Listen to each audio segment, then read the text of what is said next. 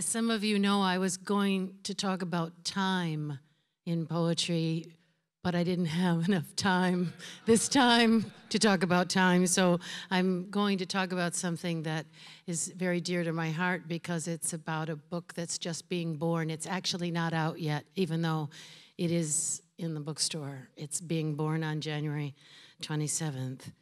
So I'm going to talk about where journeys Poetry has taken me many places. It takes all poets many places, some of them uh, physical places. In April 2012, I traveled to Libya, a country emerging from the uprising that overthrew the brutal 42 year dictatorship of Colonel Omar Gaddafi. The ruins left by NATO airstrikes on Tripoli had not yet been cleared. Vast swaths of the city lay in rubble. At that time, there was no police force, no garbage pickup, no postal service. There still isn't. The government was provisional, put in place to prepare for elections. But the first public event planned in Tripoli in the war's aftermath by the Provisional Ministry of Culture was an international poetry reading to be held in the open air under the stars near the ancient Roman ruin of the Marcus Aurelius Arch. I was among the 22 poets who came, most from Arabic speaking countries, most in Libya for the first time, and among our Libyan hosts were poets and writers who had at one time or another been imprisoned by Gaddafi. The first thing I noticed was that posters for our reading had been slapped on the bullet riddled walls all over town. The posters covered up the bullet holes. There were spent shell casings strewn all over the ground, in the streets, in the market, everywhere I looked. And in the days that followed, one of the poets even picked up from the troubled earth a box of live, unspent ammunition. The Libyans welcomed us warmly in the hotel, in the streets, in the cafes, and especially on the night of the reading when hundreds came to the arch to sit on folding chairs where booklets of the poems to be read that night had been placed, translated into Arabic. There weren't enough chairs for the crowd that gathered. Children lined up along a wall overlooking the arch, men and women, veiled and unveiled, young and old, crowded around the arch and into the adjacent streets. Large speakers had been mounted near the podium, the kind that we see at rock concerts. Libyan television crews and also Al Jazeera arrived and set up their cameras. A dozen of their microphones were placed on the podium. Armed militia were everywhere in their various uniforms. And, they were, and we were assured that they were there to provide our security. They smiled at us and gave us, up, gave us thumbs up and peace signs. On the walls, there was graffiti having to do with the victory over the dictatorship. One read in English, Hold your heads up, you are free Libyans. Several English speaking Libyans approached and expressed their gratitude to the United States and to NATO for the airstrikes that helped them to defeat Gaddafi. I had given only a few open air readings in my life and never under a lighted Roman arch before an audience who would not understand my language. You'll be fine, the poet Zakaria Mohammed assured me. It will be good. I was asked to begin my reading with the poem The Colonel, written 34 years ago, a poem that arose out of an experience I had while working as a human rights activist in El Salvador. I protested that it was a very old poem, but they insisted and assured me, assured me that the poem translated into Arabic well. All right, then, I thought, but the poem includes an obscenity, a four letter word, and I didn't know whether it was all right to use this word in public here. We have our own version of this word, they said. Don't worry. When I finished the poem, there was a murmur through the crowd, and I heard a little automatic weapons fire in the air. The crowd seemed to react to the poem in a way I had not expected. With enthusiasm and interest. And it was only in late, it was not until later that I was told that they heard this poem about a Salvadoran colonel as a poem about the former dictator, Colonel Gaddafi. They translated the sense of the poem not only into Arabic from, from English, but into their time and place. I read several more poems and took my seat. During the rest of the readings, I heard more automatic gunfire and I must have been looking around a bit anxiously because the Libyan man seated beside me finally leaned over and said, They're firing into the air because they like the poem. Another first for me. I had never heard AK rifle fire as a form of applause. After the readings, the audience members crowded around us, shaking our hands, hugging us, some of them with tears in their eyes. One woman about my age took both of my hands in hers and said, This means we are a normal country. That we can have a poetry reading in our city. We are finally a normal country. Another first. I had never heard it claimed that poetry readings conferred normalcy in human communities, that hosting a poetry reading contributed to the possibility of a future for the city of Tripoli. Months later, the American ambassador to Libya was murdered in Benghazi along with his bodyguards, an act that horrified the people of Libya as it horrified Americans, an act all too frequently committed in the ruins of war's aftermath and in the political labors of a country giving birth to itself for the first time as a parliamentary democracy. In a strange way, I feel that at least in Tripoli, and I still feel this, that they might succeed.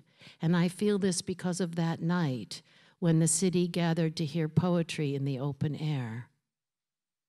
A month earlier, I had traveled to Hanoi and Hue, Vietnam, with a group of American veterans of the war to be welcomed by a group of Vietnamese veterans who had fought on the other side.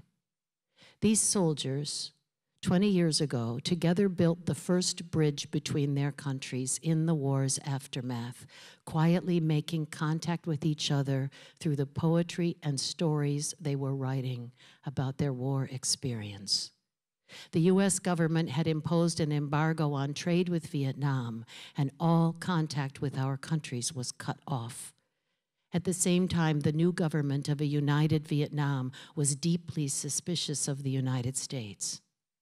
Kevin Bowen, a poet and director of the Joiner Center for the Study of War and its Social Consequences at the University of Massachusetts in Boston, led the effort first to provide artificial arms and legs to those Vietnamese maimed during the war, and then to translate the poetry and stories written by Vietnamese veterans. He then invited a few of his former combat enemies to come the, to the United States and give readings as the two governments quietly looked the other way. Kevin Bowen, Bruce Weigl, Yusef Komunyakaa, and others, combat veterans all, then made what they called a full circle journey back to Vietnam to walk the hills, fields, and rice paddies of their violent youth. It was, they, it was then they discovered that the United States possessed, in an archive in Washington, boxes of captured documents, papers and small notebooks confiscated from the corpses of dead Vietnamese soldiers during the war, now preserved on microfilm. It was thought that such materials might contain information of military importance, logistical information, and battle plans. The documents, however, were of course written in Vietnamese, so no one among the Americans in the field could ascertain what was important from what wasn't. All were sent to Washington for analysis, assigned a code that corresponded to their intelligence value, and eventually warehoused. Kevin Bowen and the other veteran poets pressured to have these boxes opened. And when the captured documents were translated, it was discovered that much of it was poetry written by Vietnamese soldiers love poems to their sweethearts, poems of longing and despair, poems about nature, life, and death. The American veteran poets persuaded the United States government to send these microfilm documents back to Vietnam as a gesture of goodwill. They were received with gratitude and conferred an unexpected benefit. The documents helped the Vietnamese to solve their own MIA problem. Soldiers missing in action and never accounted for, soldiers who could not technically be confirmed dead on the field of battle. Where possible, the documents were returned to these soldiers' families who now, at last, knew the truth about their loved ones. They had something in their grasp that had once been written by their sons, husbands, fathers, and lovers. Many more exchanges were arranged between the writers and the poets in the years that followed. This year was the 20th anniversary of those first tentative steps. The Vietnamese Writers Association invited us back because they wanted to honor Kevin and his fellow poets and writers formally to reach across the horrors of that war, the years of that war, and to celebrate the peace that had been achieved and the strength of the poet's bridge. I had never been to Vietnam. It was for me a place where my first husband and my childhood friends fought, young men from Michigan who were wounded or died in a war I opposed as a young woman marching in the streets of East Lansing and Ann Arbor with other university students, carrying our signs, intellectually uncertain of the war's true dimensions, but feeling in our hearts that it was wrong, and realizing to our horror that our government wasn't telling us the truth, as now has been substantially disclosed.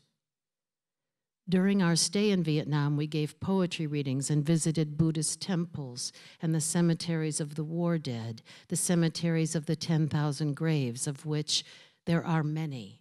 A sea of gravestones, all the same size, like our Arlington National Cemetery, but gray rather than white, with incense sticks burning beside pots of chrysanthemum. We walked in the now peaceful fields of the former American bases and battlefields Khe Sanh, Quang Tri, and the former demilitarized zone. It isn't over and it will never be over.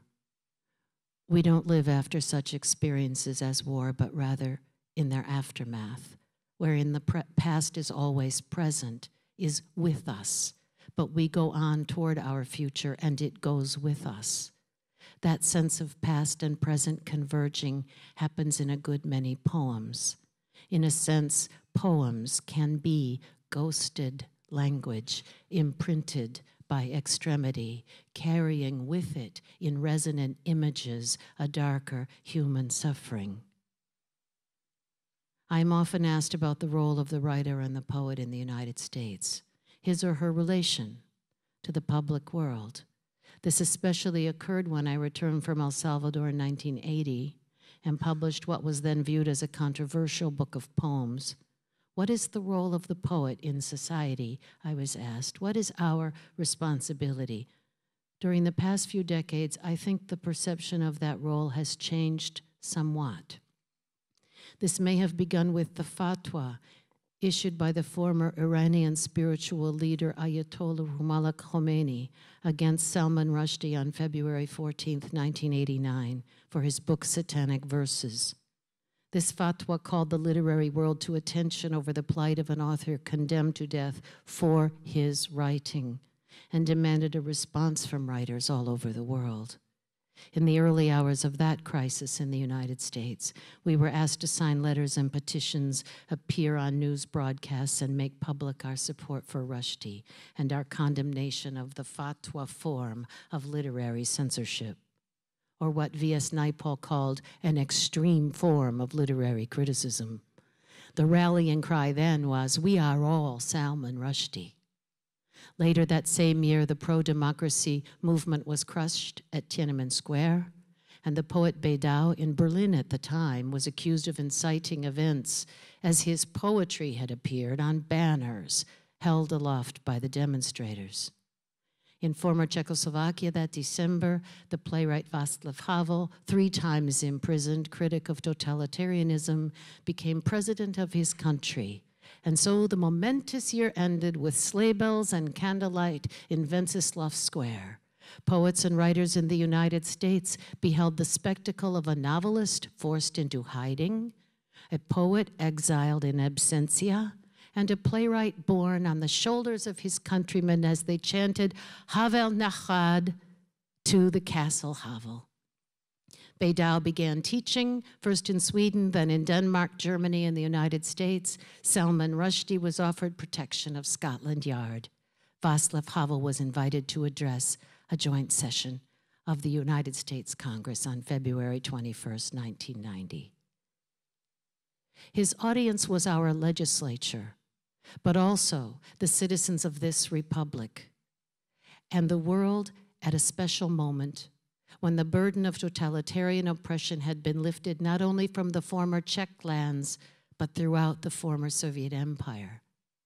At that time, I was attempting to bring a work to fruition against forgetting 20th century poetry of witness, an anthology of poets from all over the world who had endured extremity during the past century. Well, so it goes on to describe this 145 poets, 30 languages, and it was the culmination of these efforts. As, as the former Soviet empire was breaking apart, I found myself hastily calling newly installed consulates of recently independent republics so as to revise sections having to do with the poets of the former Warsaw Pact. So I would call them up and just ask them what they wanted their country to be called at the moment. The volume is nearly 20 years old this year. It is 20 years old. Well, it turned 20 in 2013.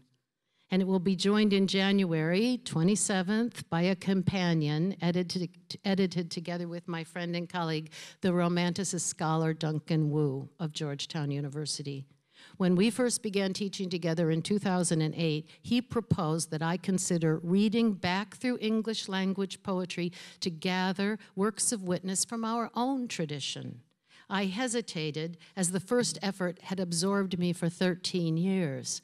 But that volume, Poetry of Witness, The Tradition in English 1500 to 2001, will be published by W. W. Norton. Included are 111 poets and among those who experienced war, imprisonment, torture, exile, religious and political persecution, censorship, and execution, and whose works do, at least in part, constitute evidence of such experience, include St. Thomas More, Sir Walter Raleigh, William Shakespeare, Christopher Marlowe, Ben Jonson, John Milton, Andrew Marvell, William Blake, Wordsworth, Coleridge, Shelley, and Keats, Whitman, Dickinson, and Yeats, and a good number of others you would recognize.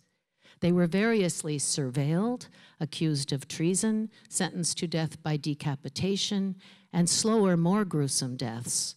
They were kept in solitary confinement, forced to labor on slave ships, traded and owned as slaves, and accused of supporting abolition. They were Catholic when the religion was outlawed, Irish under English rule, Americans nursing Civil War soldiers on the battlefield, and they were soldiers in the trenches of the Great War and those that followed. They were English language poets, all, from England and her former colonies.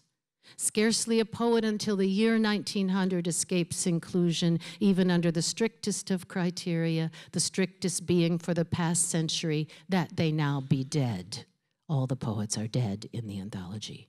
That there would be so many poets of witness in our tradition, so as to constitute a plurality of voices, came as not much of a surprise, but taken together, what we held in our hands was a tome of such weight and such magnitude that it became impossible any longer to read English language poetry other than as inextricably bound to an art marked by the world, by struggle and violence, by opposition to injustice and a willingness to sacrifice personal freedom, well being, and life itself in the interests of humankind.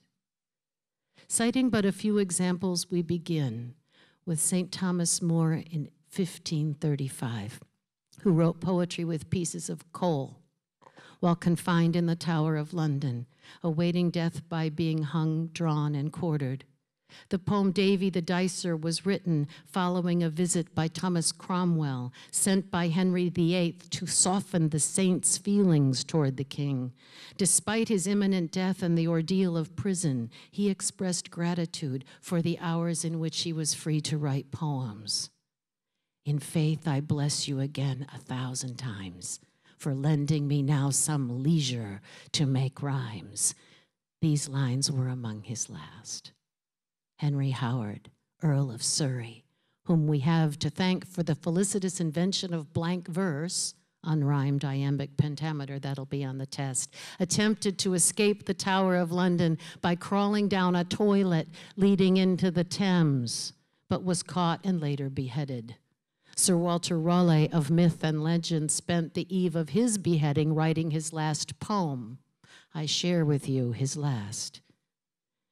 Even such a time which takes in trust our youth, our joys, and all we have, and pays us but with age and dust, who in the dark and silent grave, when we have wandered all our ways, shuts up the story of our days and from which earth and grave and dust the Lord shall raise me up, I trust. Among the Catholic priests who were poets at the time Elizabeth first made it treasonous to practice anything but the state religion was St. Robert Southwell, Society of Jesus, who was arrested while attempting to say Mass at a private residence. He was manacled at the wrists with his feet standing upon the ground and his hands but as high as he can reach against the wall and subjected to a form of torture by which internal injury was inflicted without causing outward marks on the body. Southwell was almost dead when they cut him down. He spent the next two and a half years in solitary confinement in the Tower of London and then at Newgate.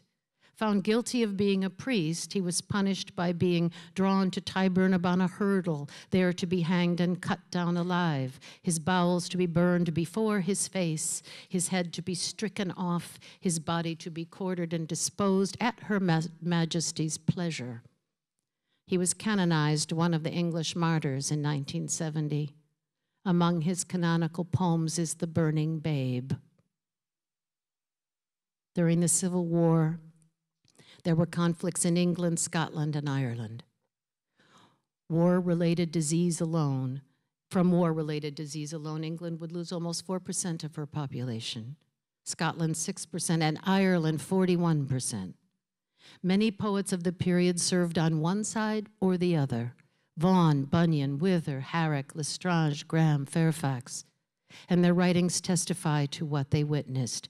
To be wounded by musket shot, even superficially was a serious matter in an age when medical treatment consisted chiefly in amputation.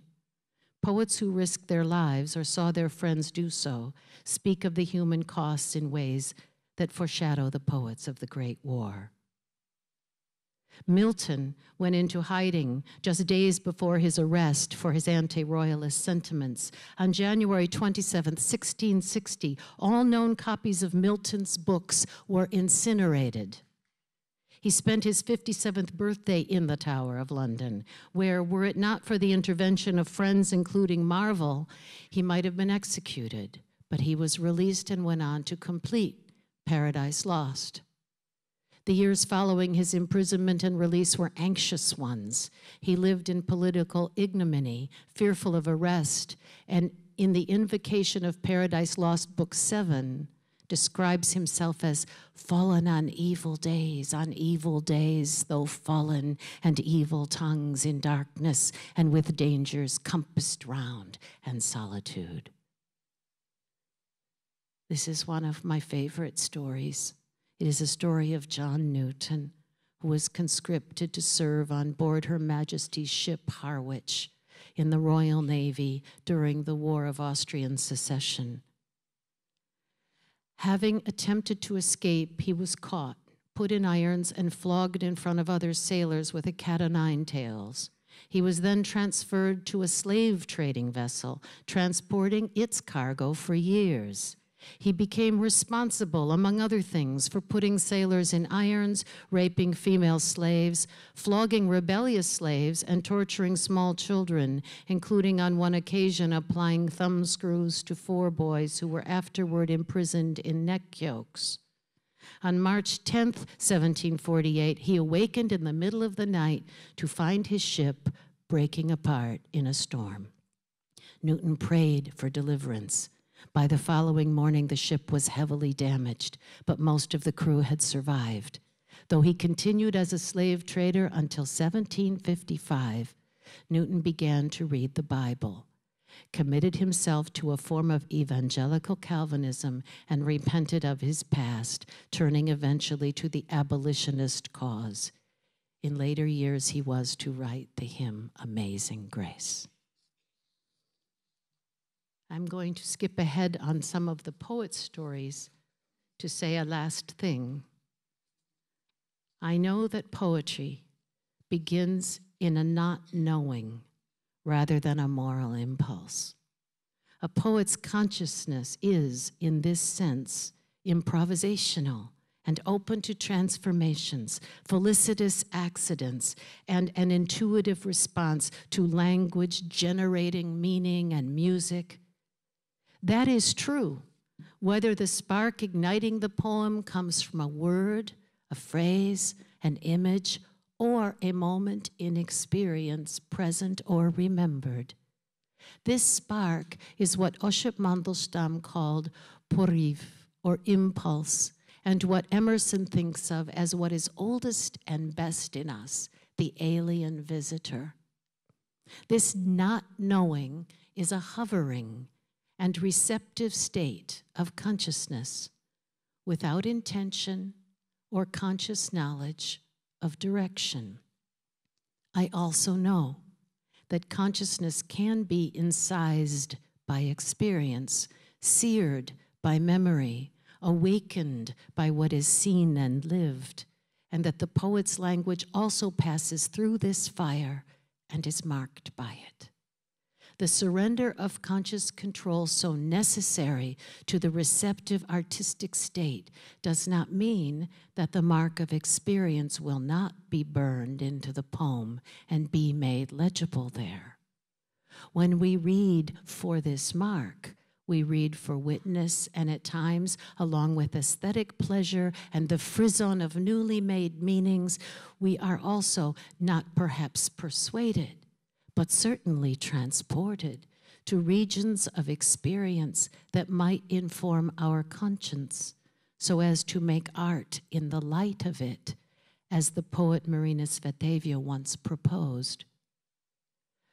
Václav Havel in 1991 concluded his speech before the joint session of Congress by praising the Declaration of Independence, the Bill of Rights, and the Constitution of the United States as documents of enduring inspiration to the world.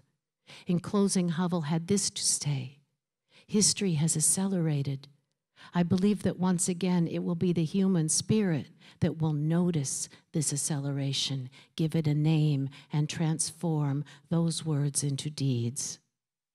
This brings me to the present, wherein we are experiencing a dizzying historical acceleration. We know that technological developments are double edged in the sense that they enable and disable certain human capacities.